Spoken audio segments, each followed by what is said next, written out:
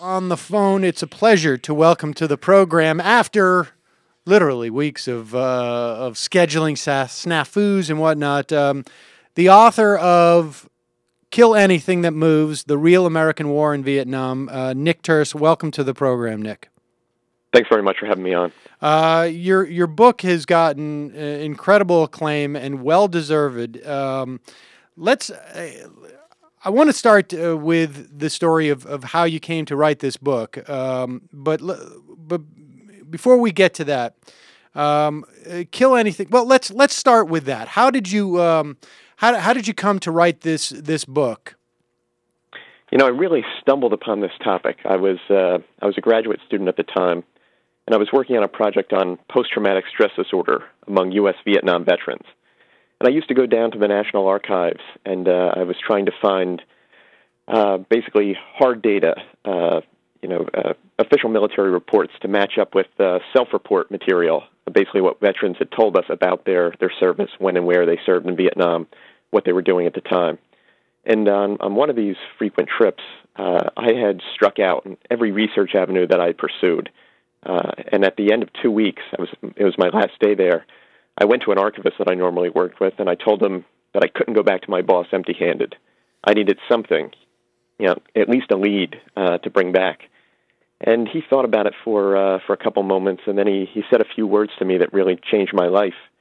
He asked me if I thought that uh, uh, witnessing war crimes could cause post-traumatic stress, and I told him I thought that was an excellent hypothesis. And I asked what he had on war crimes, and within an hour, I was uh, searching through box after box thousands upon thousands of pages of reports about massacres, murders, rape, torture, assault, mutilation. It was a, a catalog of, of horrors. And uh, I, I realized very quickly that, uh, that these documents uh, from, from uh, a secret Pentagon task force called the Vietnam War Crimes Working Group, I realized that they weren't in the literature anywhere. And uh, you know, I, I decided that I, I wanted to work with them and uh, and and that's really what set me off on the, the path that led to kill anything that moves. I mean, that's that that is you know what what people have hailed as, as your book being so important. I mean, you know, and uh, we keep I keep hearing.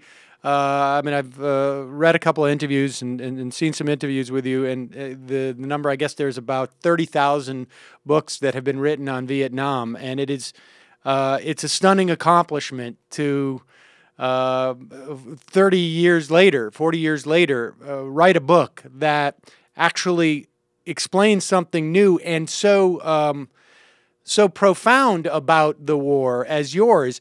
What and, and it is centered around that that notion of uh, that these atrocities were not one-offs as we as we sort of have been under the um, uh, the mistaken assumption, but that this there is something not quite sy- systemic, but we'll, we'll, get to that. But um, but but how is it that I mean, how is it that that uh, the Vietnam War Crimes Working Group, I mean, that all of that information was sitting there and no one had ever looked at it? Was it because this archivist had offered it to you in a way that nobody else had been offered? I mean, it, it just it's stunning.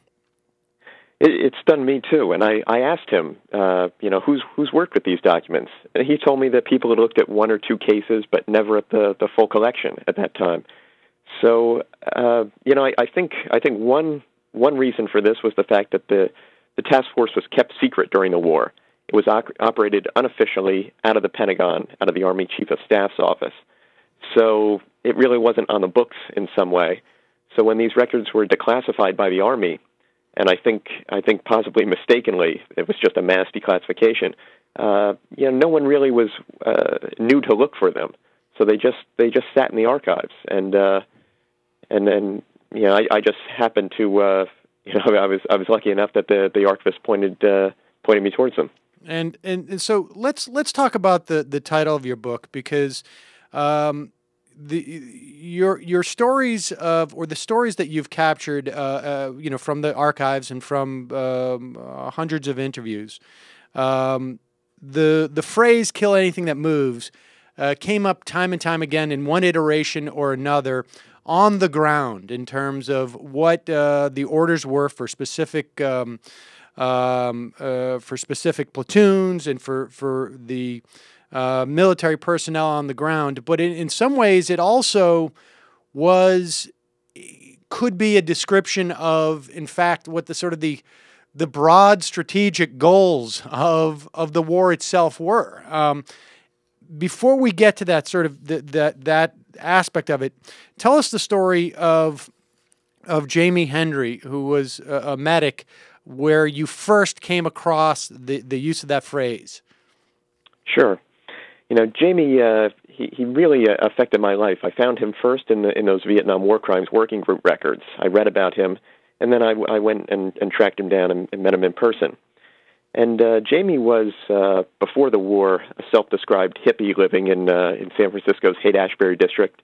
Uh, but he was drafted and he became a medic and, and a very good one. He saved a lot of American lives, and the men who served with him said that he was one of the finest soldiers that they'd uh, that they'd come across. Uh, but Jamie was really shocked by what he saw going on in Vietnam. On his first day in the field, uh, he told me that he, he watched the point man, the lean man of his patrol, uh, detain a young girl and molest her right out on a trail. And he thought to himself, my God, what's going on here? And over the ensuing months, he just watched a litany of atrocities take place. A young boy who was uh, detained and beaten and executed for no reason, an old man who was used for target practice, a prisoner who was beaten up and thrown off a cliff. Uh, there was a man who was held down to be run over by an armored personnel carrier, basically a small tank. Uh, and, and Jamie watched all this, but when he spoke up about the brutality, his life was threatened by other members of his unit. And even his friends uh, came up to him afterwards and, and told him, Look, you, you need to keep your mouth shut, or you're going to get shot in the back during a firefight, and no one's going to be the wiser. So Jamie did keep his mouth shut, but he kept his eyes open and he kept cataloging everything that he saw, including, uh, you know, this culminated really in, in a February 8th, 1968 incident. His unit pulled into a small hamlet, and uh, and they rounded up all the the people there, which was about 19 women and children. And Jamie was taking a break, smoking a cigarette, and uh, and he heard the commanding officer uh, and, a, and, a, subordinate officer on the radio. And, uh, and a, a, lieutenant asked, uh, What should I do with these civilians? And uh, the officer, the captain, West Point train captain, answered, uh, You know the orders that came down from uh, higher this morning kill anything that moves. So Jamie heard this and he hopped up and you know, uh, made his way towards uh, where the civilians were and where the captain was. He wanted to intervene but he arrived just seconds late, just in time to see five men open up on full automatic with their M16s and kill all the civilians there. Jamie watched this happen, and he said that you know, 30 seconds afterwards, he vowed that he'd blow the whistle on it. So when he came home, he went right to an army lawyer and he reported it. But the uh, the lawyer told him to keep kept uh, to keep quiet. He said that there were a million ways that the army can make him disappear, he went to an Army criminal investigator, but this man threatened him. Uh, but he kept at it. He, he went out and uh, he, he found a civilian lawyer and asked for advice. And this man told him to get some political backing. So he wrote to a couple of congressmen, but neither of them would return his letters. And then he decided to go public. Uh, he spoke out at public forums. He published an article. He held a press conference. He went on the radio. But he just couldn't get any traction. And eventually he gave up. And it was only when I showed up on his doorstep with several phone book size uh, stacks of records, you know, 40 years later, uh, only then did he know that the Army had conducted a thorough investigation and corroborated everything that he said. Mm. But of course, that was kept secret from him and from the American public. And what would have been the first story about a My Lai style massacre wasn't fully exposed until 40 years later. And in, in many respects, I mean, that is. Um or at least uh, in some respects, that is that is the the one of the, the, the big takeaways from your book is that the My Lai massacre, uh, which was I think perceived as as a, an aberration in some ways, sort of like what the worst thing that could happen in that context, and uh, but the book essentially outlines and, that these there were, if not in the size, but at least. Um, there were I mean, I don't know, hundreds or, or more of these. I mean, that it was in many respects, standard operating procedures. Is that fair? It is. You know, My Lai is atypical basically for two reasons. One, uh, the the number of civilians killed at one time uh, is is very large at My Lai 500 civilians killed over a period of four hours. Most massacres were smaller than this. Uh, but uh, but otherwise, uh, it isn't atypical. But the other thing that's atypical about it is the fact that it was thoroughly investigated. There's never been uh, another military investigation, at least during the Vietnam War, that was uh, as comprehensive as the investigation to My Lai. And uh, perhaps the most telling thing about that investigation is the fact that uh, uh, the, the military put a, a, a, general named Peers, General Peers, in charge, and, and his Peers panel looked at My Lai. And as they were looking at it, what they found was at the very same moment that 500 civilians were being killed at My Lai, uh, there was a, another hamlet nearby called My Khe. Uh, a totally different unit on a different mission went to My Khe and killed somewhere between 50 and 150 Vietnamese there. Uh, and, and this was, uh, they figured this out. It was suppressed at the time, and it was never fully made public in the way that My Lai was. But the fact that the, the military can look into this and find, you know, on the, on the very same day, two different massacres, two different villages, uh, two different units, it really put the lie to the fact that, uh, that, that, that My Lai was somehow an isolated incident or committed by bad apples. Uh, and, and once the military saw that, they got scared, and this is what caused the Vietnam War Crimes Working Group to be created. They created this task force because they were basically afraid of, of what else might uh, you know bubble up from Vietnam, and whenever they could, this task force would try and tamp down allegations and make sure that they didn't uh, explode in the press the way My Lai did. I mean, that that is that is also one of the the, the really incredible uh, sort of I mean that this uh, that the in fact the the the existence of the working group is in some respects uh, proof of of that premise that this is not an isolated incident. In fact that they needed to develop an entire apparatus to essentially maintain a fictional narrative of the the whole war in many respects. That's exactly right, and I think it's uh, you know that it's one of the major reasons why, as you as you mentioned, there are thirty thousand books on the Vietnam War. Uh, but if you you read most of them, basically when they uh, you know if, they talk about Vietnamese civilians suffering at all, it's in the context of only My Lai. Uh, so this was uh, you know a, a real victory on the part of the military. They were able to uh, contain that that you know alternate narrative of the war and uh, and really reduce it to My Lai. So you have you have this one horrific massacre, but but just one stand in for what was pervasive suffering. What I came to see as a signature aspect of the conflict, uh, and this was a, a conflict that uh, in which millions of Vietnamese were killed, millions more made wounded or uh, made refugees by deliberate U.S. policies. Like uh, like the use of almost unrestrained bombing and artillery shelling across wide swaths of the countryside, so we're talking about deliberate policies that were dictated at the highest levels of the military. But from their narrative and the one that we've we've mostly seen in history books, uh, it's it's all been collapsed into My Lai.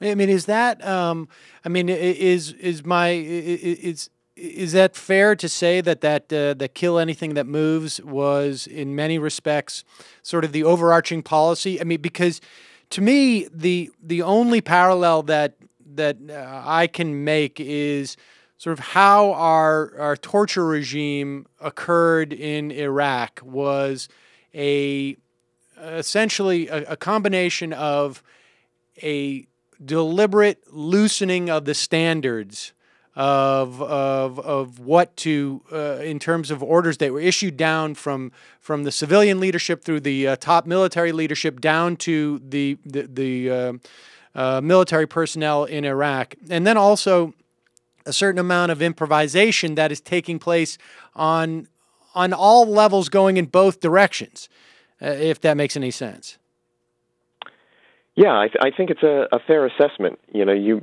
uh, I, I, mentioned that uh, the phrase kill anything that moves i first noticed it uh, as as orders handed down during the, the massacre that jamie henry witnessed and i realized that uh, you know as i studied the war further I saw this phrase or variations of it pop up in various investigations. Uh, it was the order that was handed down uh, before the My massacre by Captain Medina. He told the men that they were to go in and, and kill anything that moves. I found this uh, this phrase repeated in a, a court-martial documents uh, relating to a, a massacre that that Marines carried out in 1967, and I, I kept seeing it over and over again, and it really, I began to to, to take it as a as a, a dictum, a, a shorthand for how the war was really fought, and uh, and I, I think that uh, in many respects it, it was a, a kill anything that moves type of war. The U.S. Um, you know, as, as I mentioned, the, the the top command, and this came down from the Pentagon, came up with policies that made it inevitable that large numbers of of Vietnamese civilians would be uh, killed or wounded during the war. You know, we'll never know exactly how many Vietnamese civilians died, but the best estimates we have indicate that there were 2 million civilian dead. Add to that about 5.3 million civilian wounded. Uh, the U.S. government came up with its estimate of 11 million Vietnamese made refugees. The latest studies show that as many as 4 million Vietnamese were exposed to toxic defoliants like Agent Orange. So you have suffering on an almost unimaginable scale and uh, and it, the the military high command and, and even the White House, uh, you know, just had to know that this was going on. It was impossible not to to see it from from their vantage point. I mean, the uh, the war having a war crimes working group. I mean, it seems to me would be. Um, uh, you know the the first piece of evidence on some level because it's it's it's set up not to figure out how can we prevent this. It's essentially set up to figure out how can we continue uh, to maintain this sort of broader policy without it having any type of implications in terms of accountability and in terms of of uh, you know providing any type of informed consent. I guess I mean I don't know how else to say it uh, to the American people as to what what was actually going on at the time. That's right. The uh, the War Crimes Working Group never worked to prevent war crimes, to prosecute war crimes, to put guidance out into the field. Uh, this strictly was for uh, tracking purposes, to keep the White House appraised, to keep the Secretary of Defense appraised, and to make sure that whenever it was possible, that they could uh, bury investigations the way they did, uh, you know, Jamie Henry's investigation.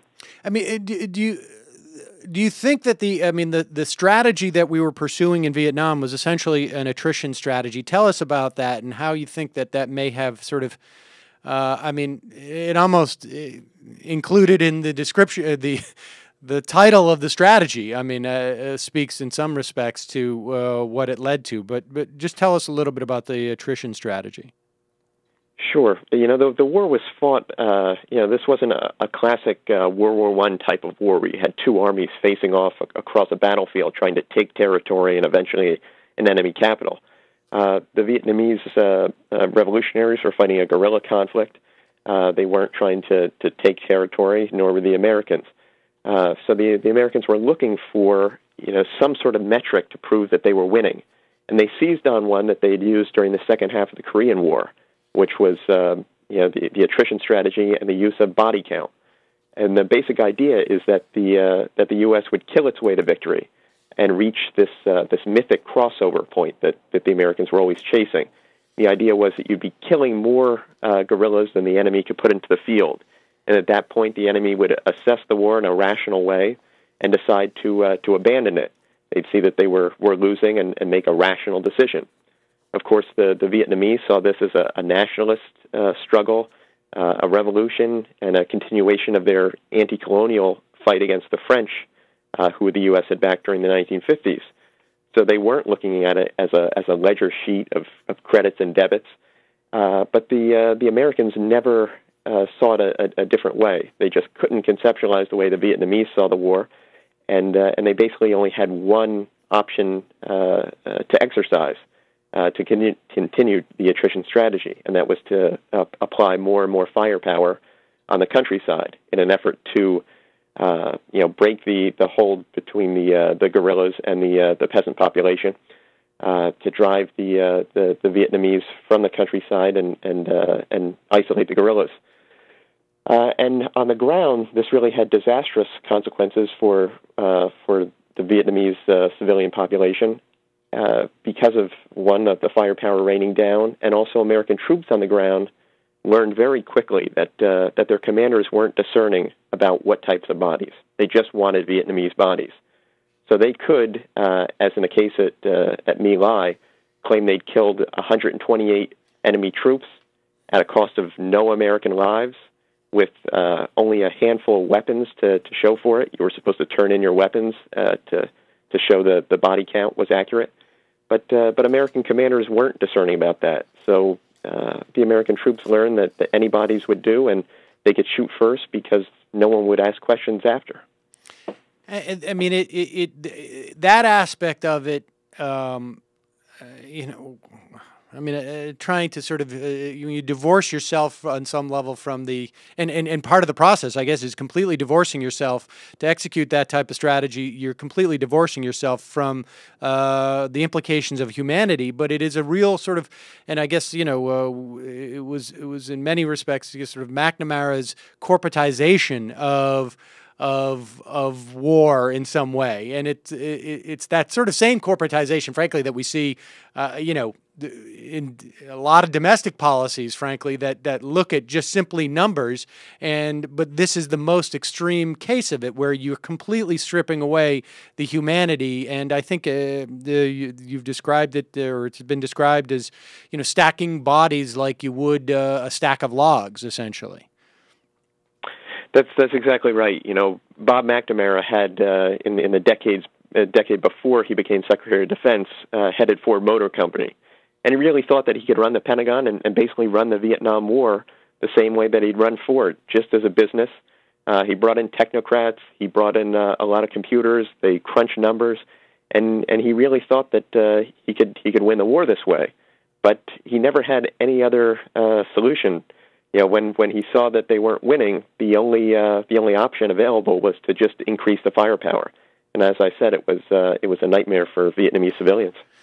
Let's talk about some of the uh, other stories of individuals. I mean, imagine. I mean, and you, you traveled to Vietnam. You spoke to to uh, victims of this war. You spoke to um, uh, soldiers who um, committed these atrocities to um, uh, ranking uh, uh, military personnel who may have, I guess, ordered. Uh, but what was the reaction? I mean, as you went to these interviews with this information, um, were were the were the reactions?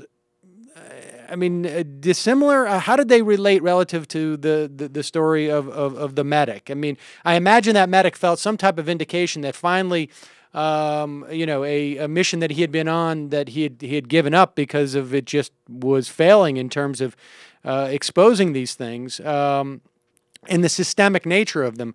How, how did other people react? Well, um, among American veterans, as, as you might imagine, there was a full spectrum of responses. Uh, there's some some individuals I talked to. Uh, you know, I got in touch with a, a, a man who I knew from records had uh, had admitted to uh, carrying out acts of torture on uh, on enemy prisoners and civilian detainees using um, electrical torture and uh, water torture, what what we refer now to as as waterboarding. And I got in touch with him and I I asked him about this and and he was completely unrepentant. He told me that. Uh, you know, he thought what he'd done was right. If he was in a Vietnam type situation again, he would do the exact same thing. He thought it was uh, the right thing to do for the war effort and uh, he saw nothing wrong with with uh, how he carried out the war. And of course, there were there were other uh, soldiers that I or veterans that I talked to who uh, you know had a very different reaction. There's one who uh, he really sticks out in my mind. You know, I, I talked to him for uh, you know several hours. He was uh, very jovial. He had an infectious laugh. We talked about a lot of different aspects of the war, and uh, and he got quiet and he told me he wanted to tell me about uh, a, a member of his unit. And he talked about how they went into a village and they were setting it on fire, burning it down, which was basically standard, standard operating procedure. This was another way that uh, the Americans sought to, to break uh, the connection between the guerrillas and the, the peasants in the countryside. So they were burning down a village, and uh, and a, a woman came up and, and grabbed this uh, this other soldier, this GI, by the arm and was yelling at him. You know, obviously she was yelling about her home being burned down, all her possessions being burnt up. And he said that the uh, the GI pushed her away, and then he took his rifle and hit her squarely in the nose with the butt of his rifle. It broke her nose. There was blood everywhere. She was screaming, and the uh, this GI just turned around and uh, walked away laughing. And the man who was telling me the story then he got got very quiet, and he said, um, you know, a couple moments later, you know that the the GI in that story was me. And I I really had a tough time, you know, connecting up the man that I was talking to uh, to the one from the story, and he told me that that he had a very hard time uh, believing what his 19 year old self had done. He couldn't imagine how he had broken this woman's nose and walked away laughing, and how he had done you know other things in, in Vietnam that he wasn't proud of. And he said that uh, you know at the time he didn't really think anything of it, but uh, in the years since he couldn't help but think of it uh, on a regular basis. That this had really stayed with him, and it was something that he grappled with uh, you know his his entire life. And and for many of the veterans that I talked to, uh, this this was the case. You know they were a little more than boys when they were sent to Vietnam, and uh, and and they've been they've been living with the the consequences ever since. Were any of these people that you um, these former uh, uh, soldiers that you had tracked down via the uh, the documents that you found? Were they aware that their actions had been investigated? I mean, were they brought in and interviewed uh, contemporaneously uh, or at any time? Uh, how you know, how did the uh, the atrocities working group, um, how did they, uh, I guess, uh, acquire their the information in their reports? Well, these were uh, the the records are basically the sworn testimony of uh, of recently returned American veterans, or even at the time active duty soldiers. So most of these men did remember that they had been interviewed but uh, of course, 40 years had passed. The, most of them had never heard anything more of it. Uh, and you know, th- there was one one uh, veteran that I talked to. He told me that uh, you know he had he had talked with uh, you know a, a therapist uh, about his uh, you know what what he had been through in Vietnam, and and he had told this uh, this therapist. He said, you know, I know that somewhere there are records, uh, but he said I I don't know how you know where where they're squirreled away. You know, so uh, these men knew that uh, that that records existed, but they had no no idea how to uh, how to get them. Other people thought that they'd just been you know destroyed in the time since. Uh, you know, Jamie Henry, uh, the medic who I mentioned, who who witnessed the massacre. You know, he had no idea that the army had uh, had corroborated everything that he said. Uh, he he felt uh, exceptionally vindicated when I showed him these records and showed that uh, you know, dozens of other men from his unit had had finally spoken up and and they'd given sworn testimony uh, attesting to the the very same things that, that Jamie had seen. Uh, but uh, but but he had no idea that these these records were were, were out there to be found. You know, he had just uh, you know he'd he'd moved on with his life and and given up any hope of of ever exposing what had happened. And and the the the victims or the the witness to atrocities that you found uh, in in Vietnam. I mean, what? How are they processing the other end of of that story, uh, or of these specific you know incident uh, incidences? Sure. I, uh, you know, I went to Vietnam with these stacks of documents in hand. I was looking for witnesses and survivors who could fill in the, the Vietnamese side of the story, and and uh, and you know, explain what it was like from their point of view. But when I went to Vietnam and I'd asked them about this one specific spasm of violence, what I heard over and over again from the Vietnamese was what it was like to live for 10 years under bombs and shells and helicopter gunships, about how they had to negotiate every aspect of their life around the, the American war, what it was like to try and figure out when to uh, dash out of your your bunker to try and uh, get some water or forage for food or, or relieve yourself. All these, just the the day to day of of their lives and how they had to uh, uh, negotiate every aspect around the American War. And very quickly, I, I, I came to understand that this was really the story of the war. That the the records that I had, the American testimony, it helped to punctuate it, it helped to fill in the gaps. But uh, but was really what was missing from the Vietnam literature was uh, this this uh, Vietnamese civilian side of the war, uh, and and quickly that that transformed my project, and it it, it made uh, Kill Anything That Moves a, a very different book than it, it would have been otherwise.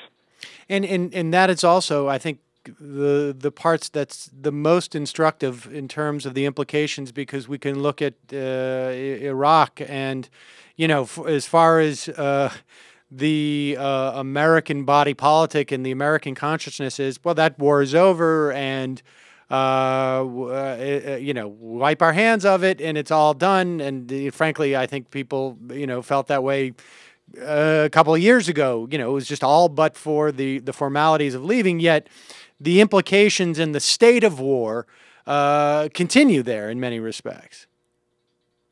Yeah, and and you know, as I was writing this book, of course, I was I was looking at the uh, the, the current wars, and I, I thought that there was, um, you know, there there were some uh, real parallels there. Uh, you know, since since America is constantly involved in uh, military conflicts abroad uh, in Af- Afghanistan, Iraq, Pakistan, Libya, Yemen, Somalia these last years, uh, I I really thought it was important uh, to do my best to try and show uh, you know what war is really like. I think I think it's important that America's Americans understand uh, you know what war is like, especially for the people who live with it every day, and that's civilians. You know, wars cause uh, uh, you know our, our wars cause immense suffering, but the uh, the stories of civilians affected by America's wars rarely make the front pages of the newspapers or lead the nightly news. And I think that if uh, Americans are called upon to send their uh, sons and daughters to war, they ought to have a clear idea of what it means for the sons and daughters of people overseas.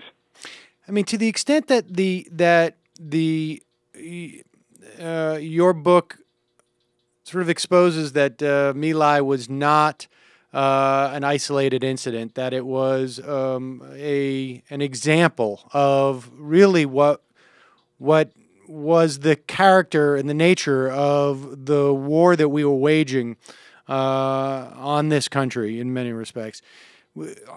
Is is that is that that analogy in that uh, My Lai is not uh, such a um, uh, isolated event? Is that analogy can that be made in terms of and it may be to extent you, you, you just did made that an, uh, analogy that uh, Vietnam was also not so special relative to the implications of war wherever we go. I mean, you know, like you say, I mean, in Iraq we by our own conservative estimates, killed uh, well over 100,000 civilians, and that's probably significantly on the low end. By our own estimates, uh, 4 million refugees, two uh, that had to leave the country, two within the country.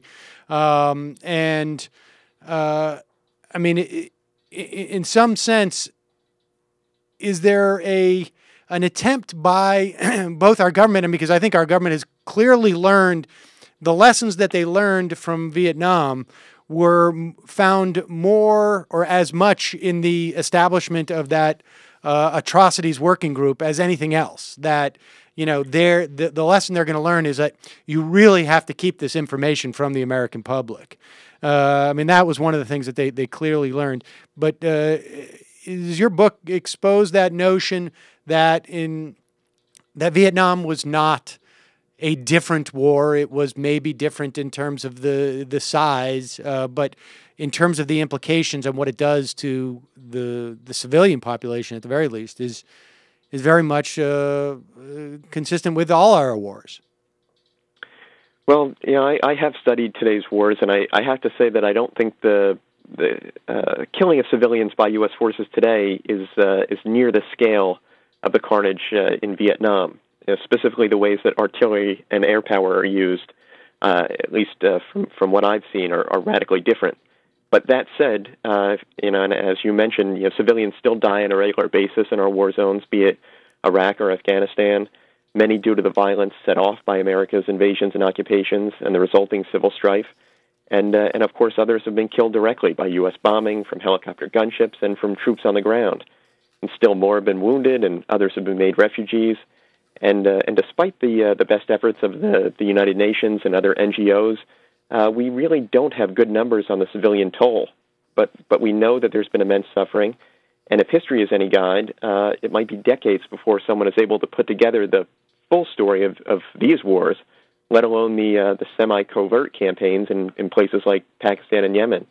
So I think uh, I, I think it, it, it might be some time before we're able to uh, to really say, you know, exactly what uh, what what toll these wars have taken on civilians.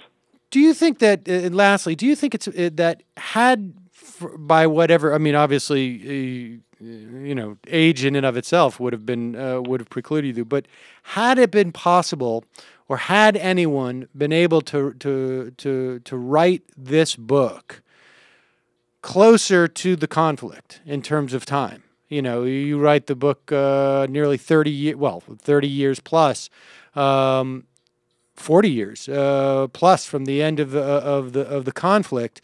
Had someone been able to write that book earlier, do you think that there would have been your book earlier? Do you think that we would have learned more? I mean, that would have uh, affected the trajectory of our um, our war making. Well, of, of course, it's, it's always uh, it's always hard to say with these things. But I, I did talk to uh, uh, one of the, the colonels. He, he retired as a general who worked on the Vietnam War Crimes Working Group, and he was one of the men who kept this these files secret. And you know, I, I, I went to him and I, I talked to him about it, and he told me that at the time he thought it was the the right thing to do. He thought it was for the, the good of the, the war effort, for the good of the country. But in the years since, uh, he came to see it as a as a major mistake and a, and a huge failing on his part. You know, I was interviewing him while the Iraq War was was still raging, and uh, and and he said to me, you know, if if these had been made public at the time, he didn't think that uh, there would have been the uh, the Abu Ghraib torture scandal. He thought if uh, if, if these records had had an airing uh, during or even directly after the Vietnam War, that it would have caused a major reevaluation within the Pentagon and uh, and maybe the, the, the current atrocity scandals uh, could have been avoided. So, you know, someone who, who saw things from the inside definitely thought that was the case. Nick Turse, author of Kill Anything That Moves The Real American War in Vietnam. Thanks so much uh, for your time today. And uh, we obviously have a link up uh, to your book at uh, majority.fm. Thanks uh, very much. And, and really, congratulations on writing what is a, a really incredibly uh, important book, I think. Thank you. I really appreciate you having me on.